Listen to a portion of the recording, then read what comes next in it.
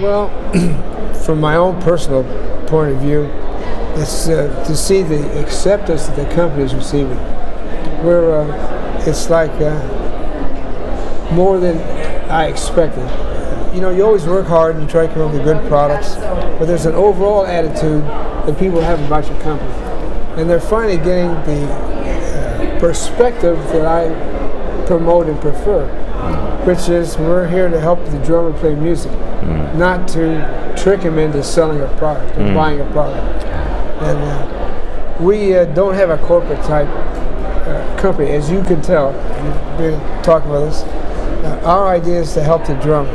So when we formed this company 35 years ago, I told my secretary, any drummer calls up here with a complaint, a problem, you give them to me. She says, oh, I thought you wouldn't want to talk to those guys. I said, no, they're the ones I want to talk to. Right. Because what people forget is we're in the music business.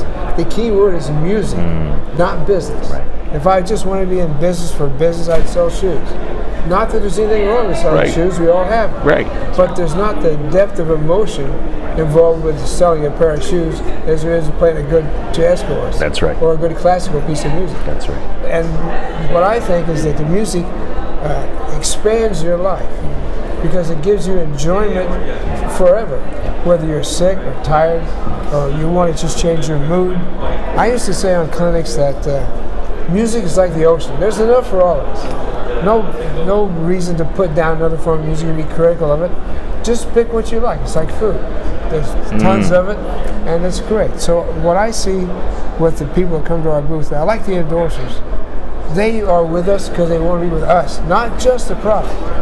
Because one endorser told me that uh, once I signed on the dotted line, nobody would talk to me. anymore. Really? And Whereas we're in close communication with them. And my uh, Chris Brady, my right arm, he's he's the greatest. And uh, Jamie Harrison is a drummer. He's in our sales. They all care about drummers. They all care about being in the music business, and they all like working for me. Not that they're working for me so much as with me. With you. But I think that to get, to get across that idea that music is the most important thing.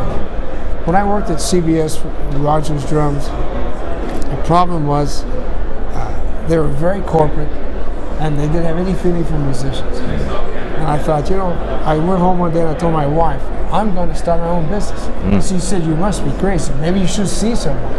I said, you mean like a psychiatrist? She said, well, it wouldn't hurt, you know. I said, look, I can't be doing these guys are ruining Rogers drums. They're driving into the ground. So uh, Ron Marquez and I got together and we formed this company. And we've we kept the same general feel throughout all these years. He and I have never had an argument in 35 years.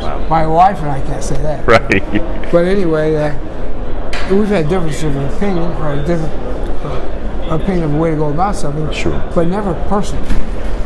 So I think that's those things, uh, and the fact that that is where we're now being perceived is uh, most gratifying to me.